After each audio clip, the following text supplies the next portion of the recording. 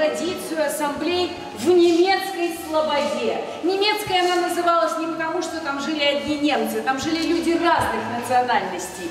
Немецкий просто от слова «немой», не знающий русского языка. Но ассамблеи, вот эти вечера, где люди вели себя вольно, где свободно общались мужчины и женщины, были танцы, развлечения так понравились Петру Первому, что он решил ввести эту традицию в России. Тем более э, общения как такового не было, женщины всегда сидели в теремах, не имели права оттуда выходить, не имели права даже поднять глаза и лишний раз улыбнуться. Ассамблеи – это вечера приятного времяпрепровождения. Вести себя можно было вольно.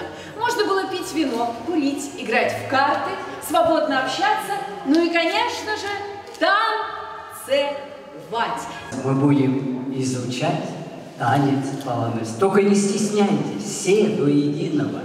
Раз, поклон, два. Затем движение рука, правая, поклончик.